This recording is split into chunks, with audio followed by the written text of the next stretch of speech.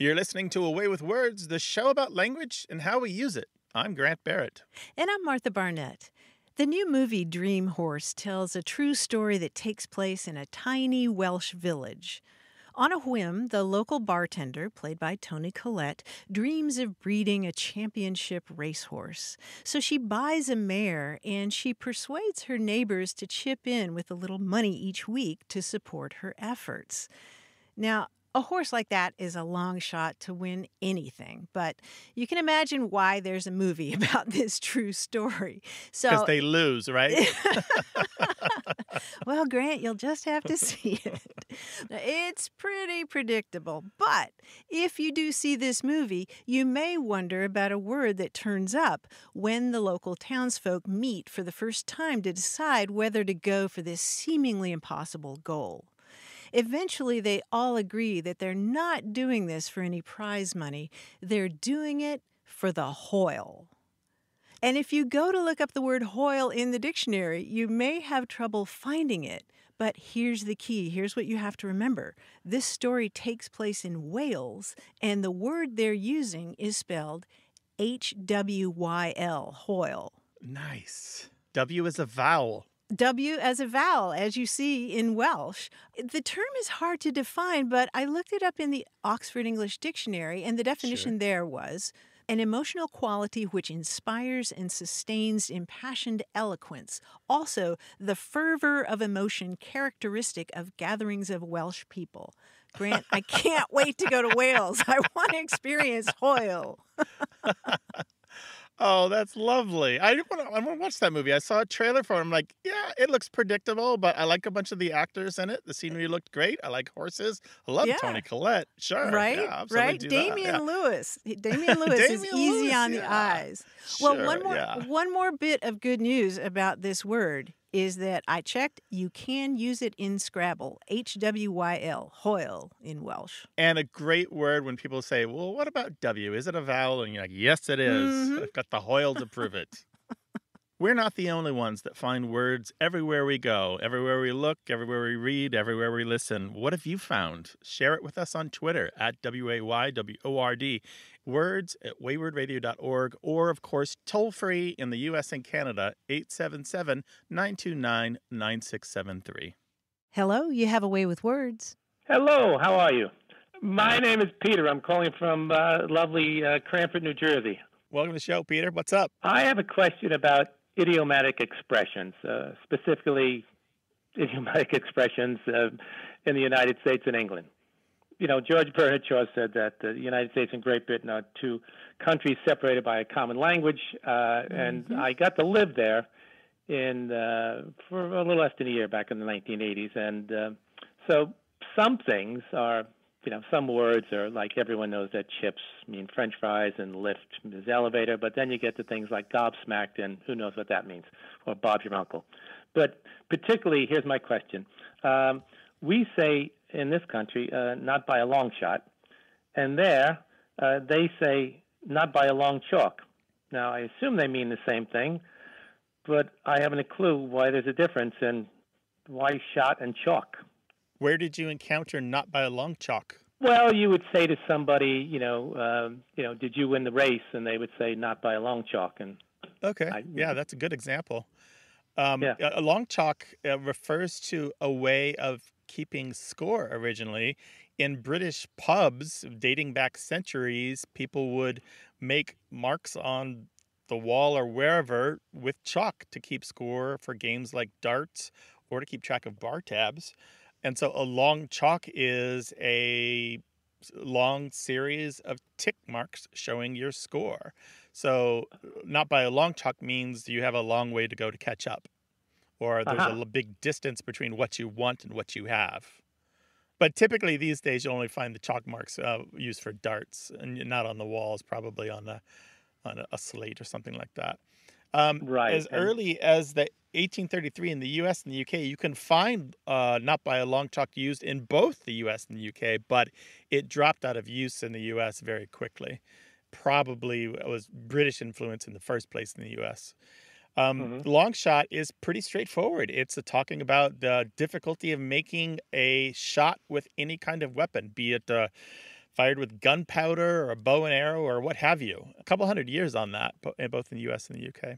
Yeah, Yeah. so they're both Yeah. very straightforward. Yeah, both very Yeah. straightforward. Once you know what the chalk is about, then it's straightforward. It might not be clear to people that we're saying C H A L K. We're talking about the the white stuff that you use to to draw with or, or color with, not Like not on the cliffs of Dover. C-H-O-C-K. Yeah, Right. Exactly, Cliffs of Dover. Peter, thank you so much for your call. Really appreciate it, man. Call us again. well, let me just say I'm gobsmacked by the answer. Yeah, that means you're hit in the face. yeah, There you go. your Okay. gob. Bob's your uncle. Talk to you later. Bye. Okay, right. bye. Thanks, Peter.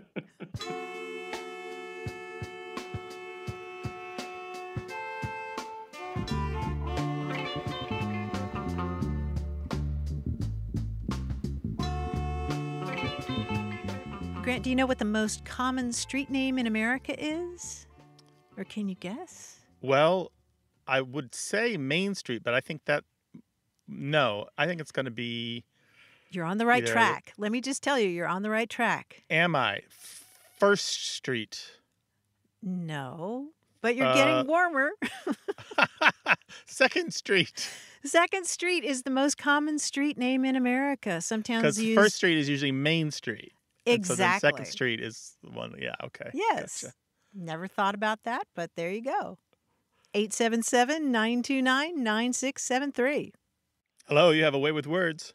Hi, this is Mary from San Diego. I'm here with my student Charlie. Oh, hi, Mary and Charlie. Welcome to the show. Hey. So, what your student Charlie? Does this mean that you're a teacher? I am Charlie's third grade teacher at Albert Einstein Academies in South Park. Well, what can we do for you and Charlie today? Well, how about I put Charlie on the line? She has a question for you that I did not know the answer to. Here she is. Okay, great. I had a question in class, which was like, why is the first episode of a season called Pilot? ah. Why is the first episode of a television season called a pilot? Yes. Hmm, what a great question. Charlie, were you watching a TV show and they, they said it was a pilot episode?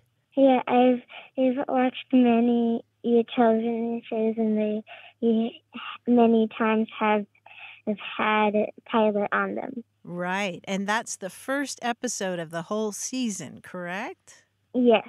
What do you think of when you think of the word pilot, Charlie? Uh, an airplane. Yeah, somebody who steers or guides an airplane. Well, we can give you an answer for that. Um, the word pilot has been around for centuries. It's been around for a really, really long time. In fact, back in the 15th century, pilot was first used for somebody who guides a ship. Somebody would pilot a ship through the ocean. And it was only later in the 20th century, once we had airplanes, that we started using the word pilot for somebody who guides an airplane. And Charlie, this idea of guiding or steering is really important because somebody who pilots something guides or steers it. And in the late 1800s, you could talk about drilling a pilot hole. And that was like like if you're hanging a picture or something on the wall, you might drill a little hole to make it easier to make a hole with a larger drill. That was called a pilot hole. And again, that was guiding where that uh, screw was going to go. And then later, when radio and television came along, they applied the word pilot to the first episode. So it's the episode that kind of guides or leads the way for the rest of the season. And it also guides the companies that are producing the show or the sponsors uh, to decide if that show is going in the right direction or if they should just quit it. I thought that pilot means like it tells you what the show is about. Hmm Well, it kind of does, doesn't it? It introduces the show to you. It kind of guides you. Yeah, it guides you as the viewer. It steers you, doesn't it? Yeah. Yeah. So pilot, the pilot is kind of the describing word here. It's describing the the episode as being uh, a s- uh, something that steers or guides. That was my question about like why does it have that? And why is it titled that? Right. Right, because usually when you think of the word pilot, you're you're absolutely right, Charlie. You think of that person flying the airplane, right? Yeah. so Charlie, thank you so much for asking that question. You know, it's a question that a lot of adults have, and uh, you asked it on their behalf. So thank you for doing that. Appreciate it. Thank you. Thank you. Take care now. Will Be you well. call us again sometime? Totally. This was really fun. And let us say goodbye to the whole class. Can you put us on speaker? Bye bye. quietly listening. Thank you. Bye. Take care now. Bye. What's that everyday question that you always wonder about, but you're not in a position to do anything about it because you're busy? Your your hands are messy from cooking, or you're driving, or you're at work in a meeting. Well, next time that happens, write that question down and give us a call 877-929-9673 or send it to us in email words at waywordradio.org.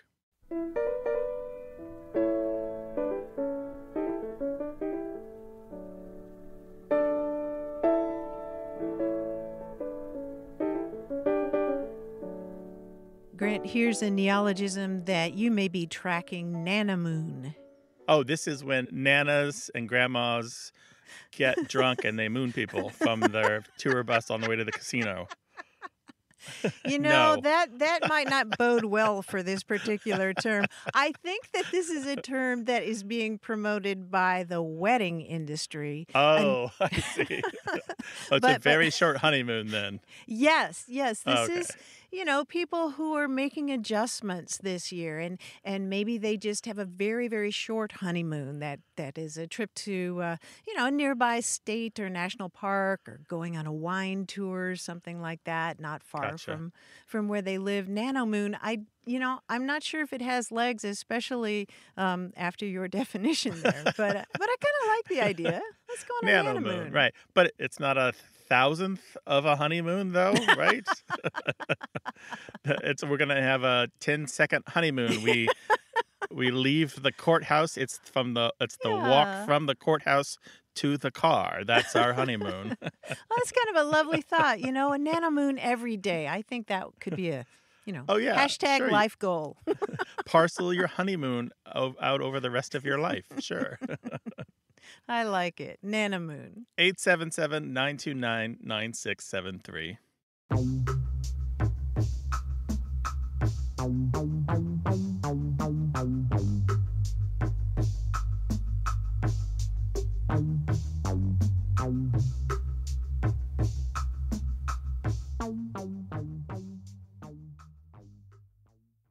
You're listening to A Way with Words, the show about language and how we use it. I'm Grant Barrett. And I'm Martha Barnett, and joining us now on the line from New York City is our quiz guy, John Chaneski. Hey, John. Hey, Martha. Hi, Grant. You know, I had a science teacher, Mr. Hannigan. He once told me that a pun is just two thirds of a joke, and two thirds of a pun is PU. but of course, nothing stinks like a good cheese pun. Now, I'm going to give you some hints to some puns about cheese, and you work out what it is. For example, I don't trust the new guy behind the cheese counter at the store. Very suspicious of him. I think he's up to no Gouda. Oh, okay, gotcha. That's, that's the kind of response I'd expect to hear if you pulled out a pun like that. So here's some cheese based puns you're going to help me finish. Ready? Here we go. okay. All right. Sadly, a tornado swept through my local cheese shop. All that was left was Debris. debris. Yes. now, I never want to be out of cheese, which is why I keep a wheel of cheese behind a glass door in my kitchen. Now, I only use it in Queso emergency. queso emergency. Yes.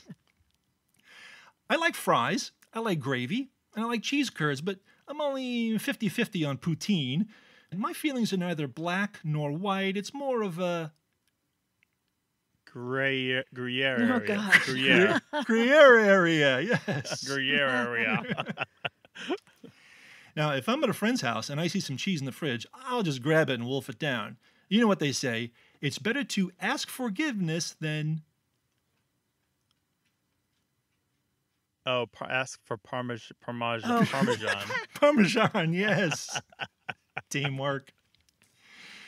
You know, guys, cheese is in the Bible, you know. In Genesis, they mention the very first couple to enjoy cheese. yeah, Adam and Eve. E D A M. Edam and Eve. Adam and Eve, right? I maintain that you can lose weight just by eating cheese. Try it. I bet that you will. Mm. Oh. Cheddar, a lot of weight. There you go. You'll cheddar a few pounds, I'm sure. I guess our time apart has endeared me to you guys. You know what they say? Absence. Makes the heart grow fondue. Oh, Yes, it sure uh, does. all right, this is just about all the cheese puns I can take. I've had it up to here. In fact, Um, fact. I'm fed up. Oh Fed my up. Gosh. yes, I'm fed up with this. Those are all the cheese puns I have today. I hope you thought they were great. Well, any way you slice it, Martha, that was a lot of fun. Yeah, we had a total mind melt. Well, if it's puns that you want and puns that you have, share your favorites with us, words at waywordradio.org, or tell the world about your puns on Twitter at W-A-Y-W-O-R-D. Hello, you have a way with words. Hi, uh, my name is Valerie, and I'm calling from Los Angeles. Hey, Valerie. Hi, Valerie. What's up? Hi. Well, I came I came up with a phrase that I thought would be perfect for you guys. I love learning more about language, and um, this is a phrase I've been using a lot recently, given everything that's been going on um, and my feelings about it. Uh, I was trying to look up the phrase "Don't buy the hype" or Yeah. "Don't buy into the hype." And I thought, you know, what an interesting phrase. And hype itself is an interesting word to me. And um, so I started to look it up just uh, for fun. And then I thought about you guys and I was like, oh, this would be perfect for them if they haven't already covered it. I'd love to make them do the research for me. Looking up words for fun. You're definitely one of us, thanks, Valerie. Teach. Assigning homework. yes, I do. I mean, uh, it's a daily thing for me. I love language. So, yeah. Yeah. Wonderful. What immediately comes to mind is the Public Enemy song. Uh, I grew up with Mm. uh, 80s hip hop, so don't believe the hype. Do you know that one? Absolutely. Yes. Yes. Don't believe the hype. It's a sequel. It's an equal. Can I get this through to you? My 98's booming with the trunk of funk. All the jealous punks can't stop the dunk. yes. yes. And I was thinking, like, I was wondering if it came, you know, if that was the actual origin of the song, because it is a very popular. From Public Enemy uh, all the way back is a long road. Actually, let's let's work backward from there. So what we're talking about Okay, is hype. Let's hype is the key word here. I think really in your phrase, Mhm. don't buy the hype. Um, we're going to talk about why you wouldn't want to buy the hype or why you wouldn't want to believe the hype. Hype we're talking about is what? What? How would you define that? Uh, hype, uh, to me, as I understand it, is anything that's being uh, really talked about and encouraged to be focused on or bought into. Yeah. Something you Bingo. buy into. Yeah, excessive praise or talk about someone or something. Exactly. But Mhm, there's a mhm. specific sense here, and I think this is what Chuck D and Public Enemy were talking about.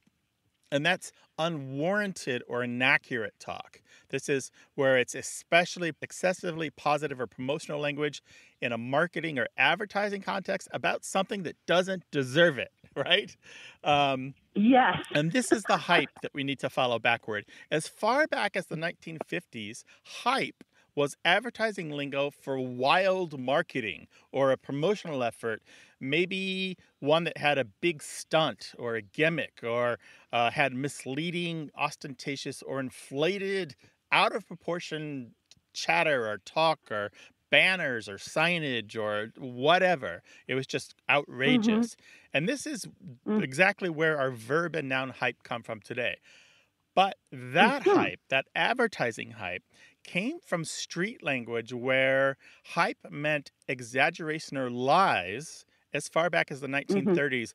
Um, and at the, Mhm. at the same time, and even a little earlier, it referred to confidence games and swindles, con games that involved persuading a mark of something that wasn't true. A mark is the person that you're trying Oh to trick. Oh wow, wow, that's it's very insidious. Yes. So a typical Mhm. con game and these kind of, of this kind of hype was the one where uh, the con would try to persuade the clerk that they'd given them the wrong change, sometimes by convincing they had given them a bigger bill.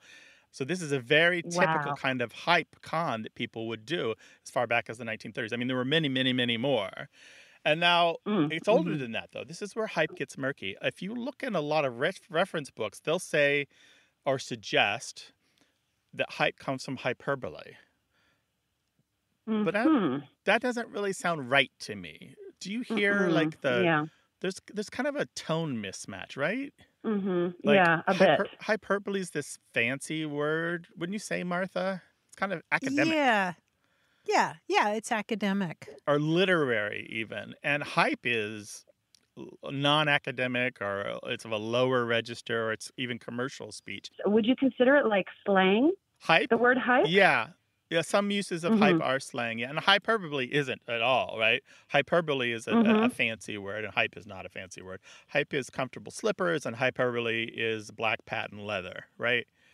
Mm-hmm. Um, mm-hmm. And another, some other sources suggest hype comes from hypodermic, uh, the idea that legal and illegal stimulants are delivered by hypodermic needles, and they kind of jack you up and make you uh, under the influence of some drug, right, or some chemical. Um, and and maybe that's similar to the way that you become kind of under the influence of someone's scam.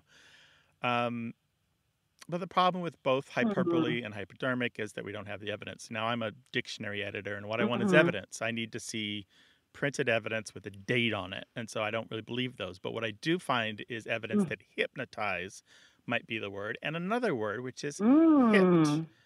hipped. There's a word which you might don't really hear. It's Yeah, I don't know this one.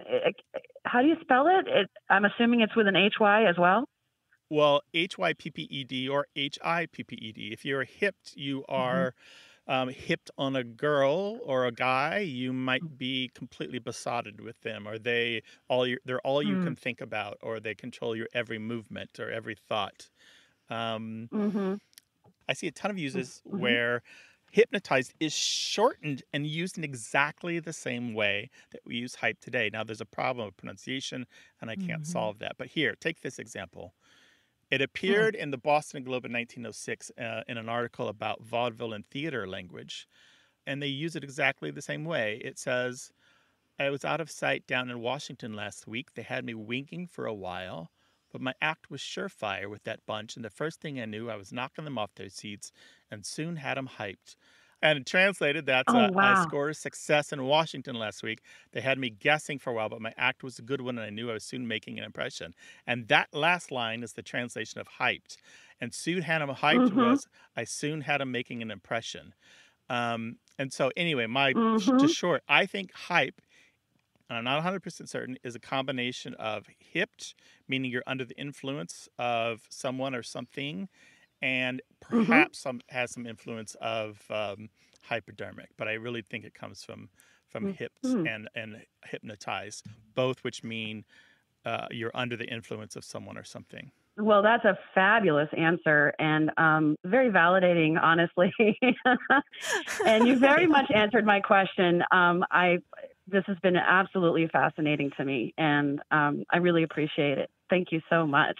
All right, Valerie. don't believe the hype. You got to call oh, again oh, I sometime, never do. okay? I'll try to come up with more for you. Absolutely. Thank you so much. All right. Okay, Be thanks well. for calling. Take care. Bye bye. Thanks. Have a good one. Bye.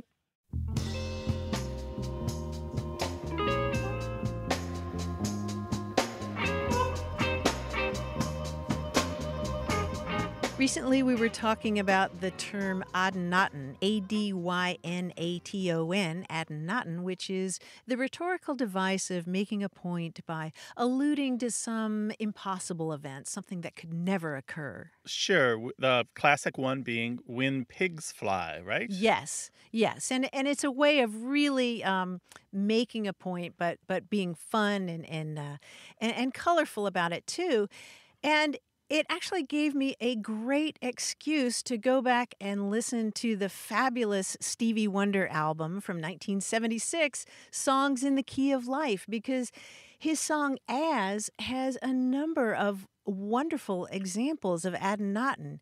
You know, he talks about I'll be loving you always until the dolphin flies and parrots live at sea, until we dream of life and life becomes a dream, until the day is night and night becomes the day, until the trees and seas just up and fly away, until the day that eight times eight times eight is four. I just, I, you know, somebody mentioned that that was um, an example of Adynaton, and and it if nothing else, it was a great excuse to go back and listen to that album. Which that I is a really classic love. album. It's great to unwind to and better than comfort food, I think. Right, because of all the Adynatons in there. Well, you can find weird language things and fun language things everywhere you look. What's the album book? Uh, what's the thing you heard or thing you read? 877 929 9673 or Twitter at W A Y W O R D. Hello, you have a way with words. Hi, this is Brian, and I'm calling from Washington, D.C. Hey, Brian, welcome. Well, thanks so much for having me. Um, I had a question about a word that I've encountered in gaming, like computer and video gaming, and it's proc, spelled P R O C. So this term proc, I've encountered it. It's when there's a random event or effect that occurs. So it's something like my sword has a 50% chance of poisoning you, and if it poisons you, then we say that it procced. And so it, it's such an interesting term to me because it doesn't seem like it's something a lot of gaming terms seem to come from like an inside joke or something, and it doesn't seem like that. And you know, PROC made me think of like procure or process, but I was just curious if you have any sense of the origin or etymology of this term. Oh, such an interesting one. And I bet you Googled it and then came across all the arguments, right? Yes, I did. I did. There didn't seem to be a ton of consensus. Oh, yeah, because they're bickering about it. They've been bickering about it, it looks like, for like 15 years at least, about whether it comes from process or procedure or something else. And um, I think I can help you narrow this down. I did some digging of my own and looking at the actual digital data, because we have some historical record on gaming, it becomes clear that the term comes from the multi user dungeon days, the MUD days, that era of text based games that you could play on LANs or dial up or the internet from the 70s onward. So, Okay. in that era, there um, there are many examples of the noun proc, that's P R O C, and it's given as a shortening of procedure, which is itself a shortening of special procedure, and it's written in computer code when you're a programmer or a gaming programmer as spec proc, S P E C underscore P R O C. And that is the origin of it as far as can be told. And I'm basing this on messages in news groups. This is the old, like before, before internet forums, before the web even. This is how people communicated using in news groups. Um, this is how groups happened. Uh, people who worked on the games left messages with each other, sent messages to each other about this stuff. Now, one of the MUDs, one of the multi user dungeon online games that had special procedures, those spec procs, um, Mhm. and the noun proc as part of its jargon was Diku. That's D I K U, which first appeared in 1990. And now there was another game. Did you ever play EverQuest? I don't know how old you are. Um, I'm in my mid 30s, so yeah, I, I never played EverQuest, but I'm very familiar. Yeah, so EverQuest is another one of these, you know, like it's like swords and wizards and stuff. And it was based, I, I, so it wasn't based on Diku, it was influenced by Diku. It's, you know, it's Okay. there's potions and tr- trolls and caves and exploration, that sort of thing. You know, you remember these, these, these games where you're always like, picking up things and seeing what kind of powers they have and encountering villains that you have to conquer with whatever you're carrying, right? Yeah, of course. Yeah, and then you get a new weapon and a new sword, and it does things. Yeah. Yeah, exactly. Yeah, you swapping swapping gear all the time, right? You can only carry a certain amount. What do I put down? What do I pick up? And and that procking becomes really important because some things proc at different rates. Um, and so you've heard that I just verbed that. I just verbed that noun Right. proc, and that's what's really important here. What we're really looking at here is when did that noun become the verb? Because for me, that's really the important part. That's really when um, I think that it went from being a narrowly used term that's kind of more about programming and more about software development, and and and then became more about the games and the gamers and the players. Okay. Do you use this at all in your offline life with with other friends when you're talking about something out in the world, or is it exclusively? It, it hasn't migrated out of uh, out of your screen. Uh, it hasn't migrated out of my screen, but I'm also pretty self-conscious about that sort of thing, so I wouldn't want to give away too much nerdery. Yeah, you're giving away a lot of nerdery um, by appearing on this show. You know. But this is cool nerdery. This is uh, erudite nerdery. yeah, your your phone call procked an, uh, an experience with us on the air. There you go. exactly. Thanks for the call, Brian. We really appreciate it. Thanks for nerding out. yeah, thank you both so much. Have a great day. All right, Alrighty. rock Bye. on. Bye. Bye bye. What is the jargon of your pastime? Are you a knitter? Are you a coin collector? Maybe you like to collect gems when you go on hikes. Whatever it is, let us know. 877 929 9673 or tell us the jargon of your pastime in email words at waywordradio.org.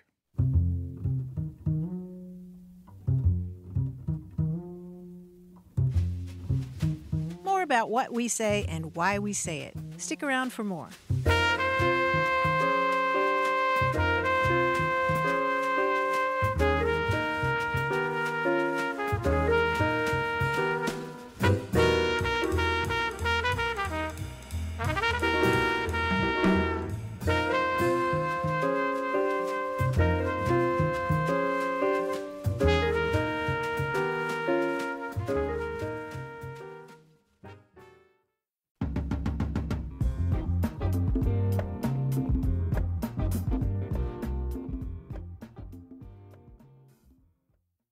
You're listening to A Way with Words, the show about language and how we use it. I'm Grant Barrett. And I'm Martha Barnette. Take a moment and imagine trying to tell someone how to get to your home without using the name of your street. Or, for that matter, the names of any streets within a 10 mile radius. I've been thinking a lot about that challenge ever since reading a fantastic book by Deirdre Mask. It's called The Address Book What Street Addresses Reveal About Identity, Race, Wealth, and Power. Most households in the world don't have street addresses. In fact, that's the way it was for much of human history. As late as the 19th century, the Royal Postal Service in Britain managed to deliver the occasional letter with a less than precise address on the envelope, like you might send a letter to so and so who lives in the cottage by the forest. Or my favorite was a letter that was addressed to someone in Scotland that read, to my sister Jean, up the Canongate, down a close, Edinburgh. She has a wooden leg. Just in case you weren't sure which Jean it was. but Grant, it makes you realize how much we take for granted the words we use to tell people where we are, and also the immense power and effect of those names. You know, like naming streets after Confederate generals, for example. And it's a fascinating look at history and society and language through this particular lens of addresses. I've never read a book like this before. Yeah, I've read uh, the first few chapters of the book at your recommendation, and I agree with you. This is a fantastic book. And I am struck by how many services that we receive are attached to having a physical address. I, I'm reminded of the people trying to get their stimulus checks in the United States, but being unable to because they were homeless. They they they had no fixed abode, as they put it in Europe. They just could not get the very money they needed to rescue themselves from their miserable situation. Right. In fact, she's got a whole chapter about homelessness and and what the lack of an address means for people. I mean, I mean, you can't apply for most jobs without being able to put your address on the application. And she raises a fascinating question in this book. Little kids can send a letter to Santa, care of the North Pole, and somebody from the Postal Service Service will end up answering that letter eventually. And she says if Santa can have a fake address, why can't the homeless? You know, why can't we assign addresses in some shape or fashion to help people get over that one little hump. And that's just one of many, many fascinating chapters in this book. She talks in there about, about Nelson Mandela's reluctance to change apartheid era street names in South Africa after he became president. And she talks about uh, modern Germany's struggle to come to terms with street names honoring Jews that were changed under the Nazi era. And just the whole question that one of the uh, interviewees in the book raises about how do we remember and say the past happened without looking as if we are celebrating that past. Mm-hmm. Right, and because there's layers of this history, if even if there are these names are problematic because of the beliefs or characteristics of the people Mhm. they were named for, they do connect us to what happened and what we sprang from and who we were as a people, a society, a community. Right. How do you make those decisions? And then there's a whole chapter about the vanity addresses in New York City, like One Park Avenue. I didn't realize that there were addresses in New York City that are available for a price, even though they might not be entirely accurate in terms of location because they have a certain amount of prestige to them. It's it's just a fascinating book, as I said, that uh, that lets you look at the world through a lens that I've never looked at it through before. And this book, again, by Deirdre Mask, is called The Address Book What Street Addresses Reveal About Identity, Race, Wealth, and Power. And I should mention, too, that, uh, that Grant, you've already seen in her book, she's a very sure footed writer. She's, uh, Absolutely. she's very uh, inquisitive, and, and I just I share her delight in learning all kinds of things about this topic. Absolutely. It's, it's a great read. We both recommend the book. We'll link to it on our website.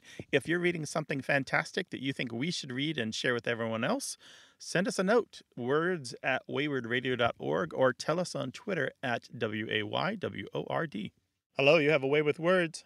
Hi, this is Anna from uh, Columbia, Mississippi. Columbia, Mississippi. Welcome to the show. Hey, Anna, what's going on? Well, my dad has always said a phrase uh, when we were growing up. Well, it actually originated from my grandmother, um, and it's the phrase "lures to catch meddlers," and uh, it's very odd. Um, and we always assumed it was maybe her southern way of saying lures to catch meddlers. For example, um, if my dad was doing something or talking about something and we came up and were like, What are you doing? And he would say, Lures to catch meddlers. Basically meaning none of your business. None yet. Leors to catch meddlers. Am I hearing you right? Yes, that's correct. Leor, Leor's like catch- Eeyore, huh? Kind of, yeah. And you said you heard it a lot. You must have been very inquisitive as a child. That's a nice way to put it. Yeah. I was I was I always have always liked to know other people's business. ah, ah, like a meddler, huh? Like somebody who meddles in somebody else's business. right, exactly. Mhm. hmm Yeah, we've got a we've got a lot to tell you about this. First, it's not just your family that says it. Okay. It's not just it's not just people from Mississippi. It's not just people in the American South, although they are more likely to say it than people in the rest of the United States. As a matter of fact, this is something you might hear throughout the English speaking world, and it's got about 350 years of history. Wow. Yeah. and I stopped counting, but I think there are 70 or 80 versions of this. Really? Yes. Well, And because it's been passed along for so long that it's become modified and and changed and everyone comes up with their own versions because they misremember it or mishear it or missay it. Yeah, I'm glad to add Mhm. Leor to the list. I didn't Yeah. Leors. I didn't know that one. hmm But it's a very long list. What did it what did it originate from or what are some of the other things that it is has been said in relation to it?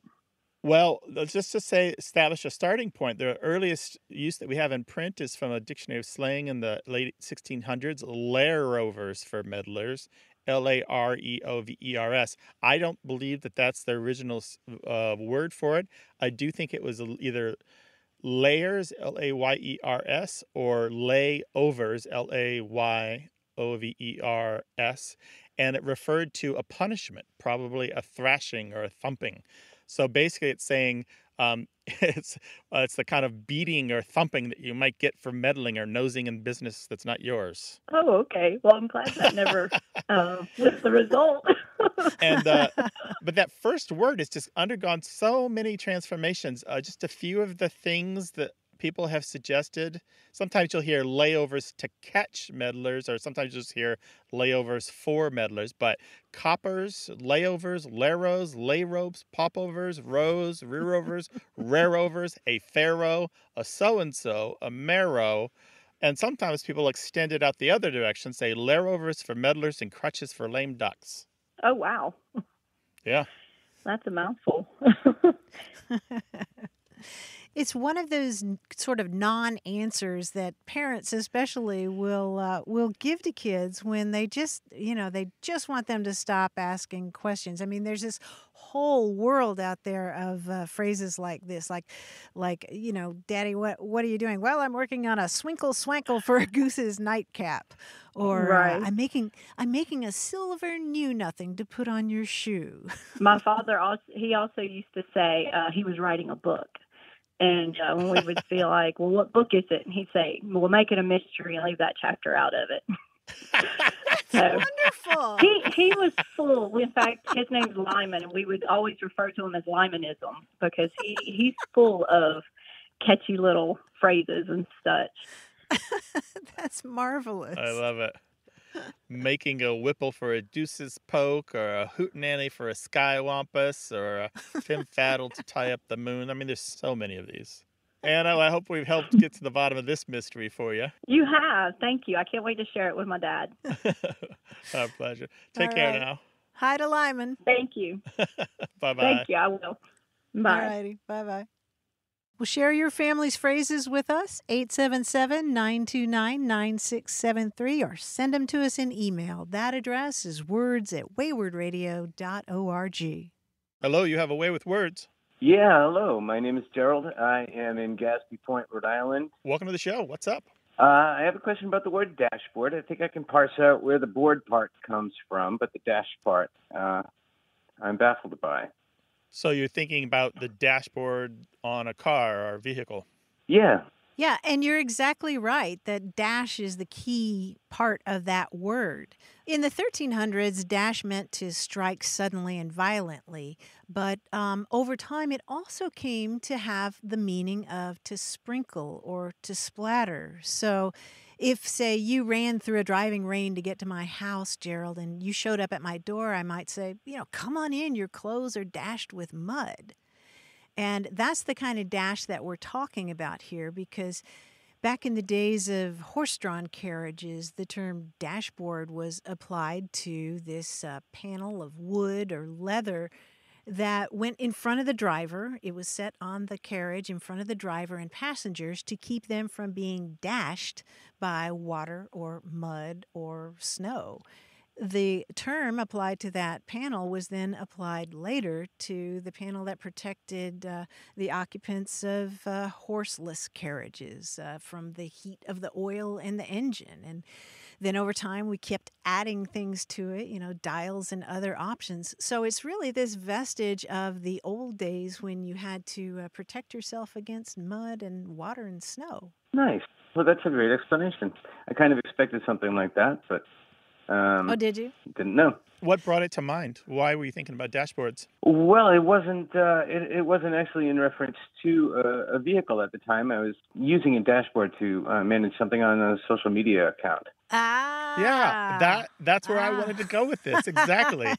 It is very Right. interesting that it's now made this third jump into the computing world where it's a it's a screen or interface that shows us statistics or charts or analyses of our underlying data in a human readable format, right? Yes. And who knows, maybe there'll be a fourth act. Uh, Who can say when we get these uh, neural implants? We'll have like mental Right. dashboards maybe. Well, Gerald, thanks for the call. Really appreciate it. Take care now. Yeah. Thank you. Thanks, right, be well. Gerald. Bye bye.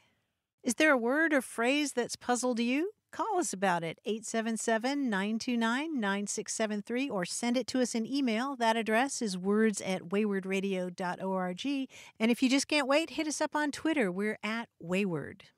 Hi there, you have a way with words. Hi, this is Laura calling from Dallas.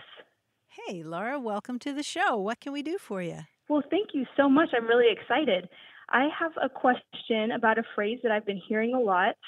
Uh, my parents say it, and my mom said my grandma said it as well, and it is another country heard from. And what context would you hear this in? Well, I have a 10 month old daughter, and so she'll be, you know, kind of playing quietly, and all of a sudden she'll start babbling or talking, and my mom will say, "Oh, another country heard from." or my same with my little baby cousin. He'll be fast asleep, and all of a sudden he's awake and talking, and it's okay, another country heard from. so it's when somebody just kind of uh, somebody blurts something out they were unexpectedly speaking and you hadn't expected them to put in any input at all Exactly. Yes. It almost is like a, their way of acknowledging the baby. It's usually towards the babies, but like that they have joined the conversation, and it's kind of like a. It seems like a welcome. yeah okay have you ever heard them say it uh, in a dismissing way to an adult like uh, somebody gives an unwanted opinion or uh, gives an opinion where they weren't asked for an opinion Not really dismissing, but more of my younger sister. If we're all here together, and maybe she sleeps later than everyone else. And then she will slowly come down the stairs after everyone is already, you know, talking and having breakfast. Then she might get, oh, another country heard from. Like, Right. it's coming down now. You finally decided to join us. Sometimes it- it can be that that's as well. a good use i like that one And she's all, Where's the coffee? You'll sometimes also hear it if uh, somebody breaks wind or burps. Sometimes you'll hear somebody say that in Oh. response to that. Yeah. Okay. another, another country heard from. But you'll also hear another county heard from without the R, C O U N T Y. And that actually was the original form going back to 1868. Um, it's, so it's got a long history. Now, I'm going to throw a bunch of stuff here at you, so bear with me, okay? Okay. The expression had a burst of popularity in the 1876 presidential election. Now, this was when Samuel J. Tilden was against Rutherford B. Hayes, and they had this neck and neck campaign. And even the election tally, after all the votes were cast, was so close um, that the ballot recount, um, when it was reordered, was like a county by county thing. And some of the far flung counties were very slow to report. So when the newspapers reported on the ballots slowly coming in, they would headline these little blurbs, another county heard from, with the results from that county. So everyone would keep up. So this was in the newspapers at the time. However, even though a lot of books will tell you that this expression comes from that election, it does not come from that election, although that election may have firmly kind of like permanently put it into the lexicon it, because that expression existed before that election. Um, it appeared before that election in ads and editorials, letters, headlines, and so forth. Um, and it always is like you've used it. It's always like, okay, here's an opinion. Uh, here's somebody spoke up that we weren't expecting to hear from, or sometimes it's kind of dismissively used. That's why I asked about that. Like, here's somebody that we don't care about with a thing that they insisted on saying. In newspapers, it's like letters to the editors. Like, here's somebody with an off the wall opinion that we decided to print Mhm. just so we could make fun of them, you know, that sort of thing. And they'll title it Another Country Heard From. Or, I'm sorry, Another County Heard From. But somewhere around 1900 or so, it starts to switch to Another Country Heard From. I don't know why, but my theory is, and Martha, I don't know what you think about this, but my theory is this is when the United States started to be a little more worldly and we Mhm. started to get more international news in our newspapers. And Another County Heard From started to disappear from from popular speech, and you just don't find it that much anymore. Um, and you also will see variants like another city heard from or another ward heard from, W A R D. A ward is uh, like a voting district in a city. Anyway, that's that's what we know. So 1868. Uh, Every time this comes up, uh, Martha and I both like furiously look in all the old databases to see if there's anything new, and we can There predate never it to the- is. there never is. Uh, we can never find it earlier than 1868. I look desperately, but I can never find it any earlier than that. Interesting. Thank you so much. That's great. Yeah, we were happy to hear from your country. So thank you for oh, calling. Oh, thank you so much. Thank you. Take care now. Bye bye. Thank you. Bye bye. And we would be happy to hear from your county or country too. 877 929 9673. That number is toll free in the US and Canada. And if you're anywhere else in the world, you can email us words at waywordradio.org. We will try to get people on from anywhere in the world, believe it or not. And you can talk to us on Twitter at W A Y W O R D. Thanks to senior producer Stephanie Levine, editor Tim Felton, and production assistant Rachel Elizabeth Weisler. You can send us messages, subscribe to the podcast and newsletter, and catch up on hundreds of past episodes at waywordradio.org. Our toll free line is always open in the US and Canada, 877 929 9673, or email us words at waywordradio.org. A Way with Words is an independent production of Wayword Inc., a nonprofit supported by listeners and organizations who are changing the way the world talks about language. Many thanks to Wayword board member and our friend Bruce Rogow for his help and expertise. Thanks for listening. I'm Grant Barrett. And I'm Martha Barnette. Until next time, goodbye. Bye bye.